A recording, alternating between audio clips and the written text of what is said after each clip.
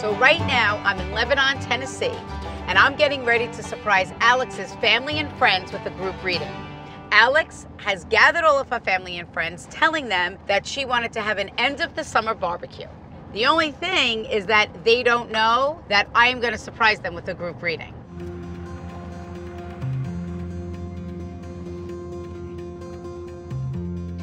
Good luck. Okay. Shh, we're doing a surprise.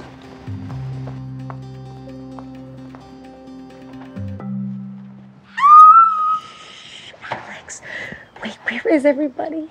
Okay, come on out. Wait, so everyone's all set. Here's well, it's nice to meet you. I don't want anyone to see. I know. So how, how did it go? Like everyone's like waiting, like they, they just think they're here for a bar. Tell them I'm pregnant. But you're not. You're not pregnant. Oh, great. Ah! They might be furious. This might not go well. My name is Alex. I'm from Lebanon, Tennessee.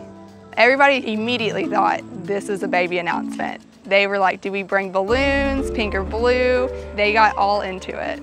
This could go all wrong. I'm thinking maybe I should have chosen a different surprise. Maybe.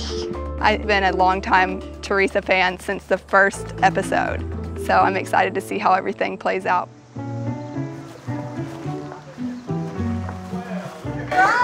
Hey. You guys having a barbecue? Oh, it's Hi, getting pregnant to everybody, but I'm not pregnant. They're so shocked. No. These people are not shocked. They just have no idea who I am. Did you guys know what's happening? No, we have, I, I have absolutely no idea. Okay, so I come from Long Island. Yeah. And I am the Long Island medium. What is a Long Island medium? This is That. a Long Island medium. I don't think anyone has ever asked me before, what is a Long Island medium? But I think my response was correct. um, so I have the ability to connect with people that have crossed over. I just met Alex. I know nothing about any of you. My wish is not for you to believe in mediums. Maybe it's just to really see what a Long Island medium is all about. I wanted to know. a little bit more than the hair and the nails. Honestly, I really have no idea what's going on. so I can't wait to hear what she says. They might not know what's going to happen, but they will be very thankful. The people that I invited today were the ones that I felt like could really benefit from a reading. I think they're the ones that could gain the most healing from the experience and the validation that Theresa provides. Okay. So, have you guys ever been to a medium before? Anyone experience anything like that? Or, okay. So, what I like your loved ones to do is they're going to bring up and talk about things that happened years ago to remind you of the happy times. Because if you're too busy beating yourself up with these negative emotions, you forget about the happy times. Then I want your loved ones to talk about things that have happened since they've died, to validate for you that through every breath that you take and every milestone you achieve, they are with you in spirit. Um, um, I am actually going to start with the father that is departed. So, um, is your dad departed? Yes. So know that your father is stepping forward. Um, and I don't know, your dad was this, mm, like I feel like he had this strength to him, whether it be his voice, his personality. He could get through anything, do anything. A jack of all trades. How's Yes. that? He keeps bringing me to a barn. Hmm. From the farm. Oh, you're from a farm. Yes. Um, did he have horses or uh, do something with Yes. horses? There was animals always around. My name's Eddie, and I'm from Smyrna, Tennessee. My dad was a very no-nonsense person. He believed in a good, strong work ethic.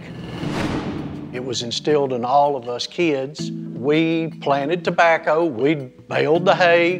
We had horses because that's how we worked the farm. The tractor wasn't always reliable. That horse was, and kids could handle the horses. Your father restricted my throat area, which means that he had a hard time expressing emotion here in the physical Completely. world. He says, and I know you don't have that problem doing it with your children. Is that correct? Correct. You tell them, and you're more of a support system I try to be. to validate the man that you've become and thanking you for the way that you take care of everyone in your life.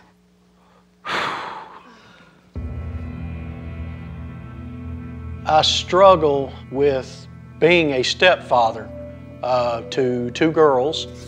I have five beautiful grandchildren by those two girls, and I'm constantly in a state of not knowing whether I'm doing the correct thing. He says you try to handle everything on your own. I want you to know that it is okay to ask for help or to say, I'm having a hard time with this. Thank you. What I heard from my dad, it means a great deal. It means he's watching, he's seeing what's going on.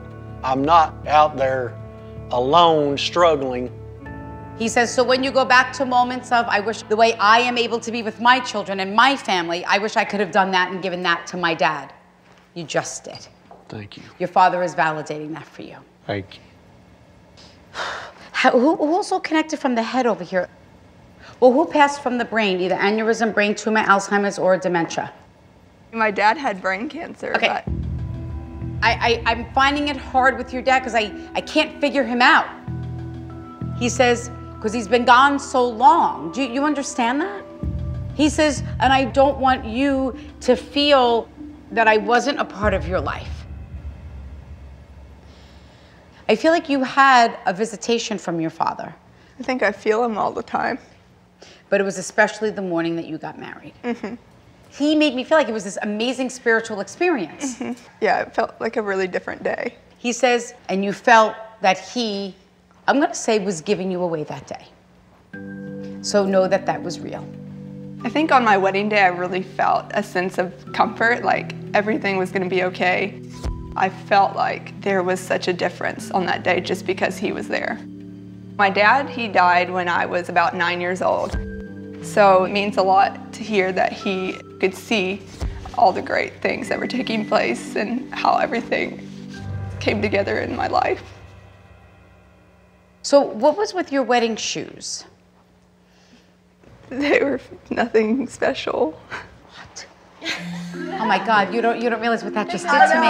My mom wanted to get $300 wedding shoes, and I was like, it's in the grass. And so I got flat $10 shoes. I need a defibrillator.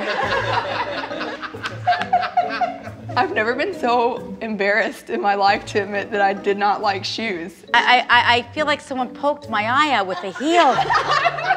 It's all about the hair and makeup, forget the shoes. Let me ask you, if I took these off and I walked around like this, hello, what looks better? The shoes! I'm forever changed. What size are you? I'll send you some. Theresa is awesome. She is exactly how I expected her to be, just as real as I could have thought, and the shoes were on point. I know you guys just came here for a barbecue, and I know uh, some of you didn't know what I did, and I just want to thank you for being open and trusting me with the souls of your loved ones. I like Theresa very much. Not until I saw her did I believe in mediums. it's because of her that I do believe in them now. I, I felt honored that she was here and was able to give me that.